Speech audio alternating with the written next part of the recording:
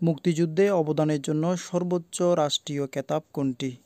তো প্রশ্নটির উত্তরটি হচ্ছে বীরশ্রেষ্ঠ পরবর্তী প্রশ্নটি হচ্ছে, মুক্তিযুদ্ধকালীন কোন তারিখে বুদ্ধিজীবীদের উপর হত্যাকাণ্ড সংঘটিত হয়? প্রশ্ন উত্তরটি হচ্ছে চোদ্দোই ডিসেম্বর উনিশশো একাত্তর সালে।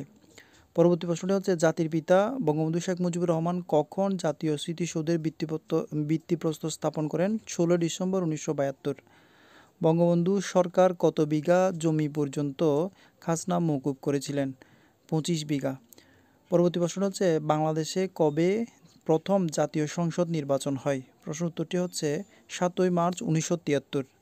পরবর্তী প্রশ্নটি হচ্ছে, ল্যান্স নায়েক নূর মোহাম্মদ শেখ কোন সেক্টরের অধীনে মুক্তিযুদ্ধে অংশগ্রহণ করেন? প্রশ্ন উত্তরটি হচ্ছে, আট নম্বর সেক্টর থেকে। পরবর্তী প্রশ্নটি হচ্ছে, বাংলাদেশের অস্থায়ী সরকার গঠিত হয় কোন তারিখে? প্রশ্ন উত্তরটি হচ্ছে দশই এপ্রিল উনিশশো একাত্তর। পরবর্তী প্রশ্নটা হচ্ছে, বাংলাদেশের মুক্তিযুদ্ধে অংশগ্রহণ করে কোন বিদেশি নাগরিক বীর প্রতীক খেতাবে ভূষিত হয়? প্রশ্ন উত্তরটি হচ্ছে William A S Ouderland.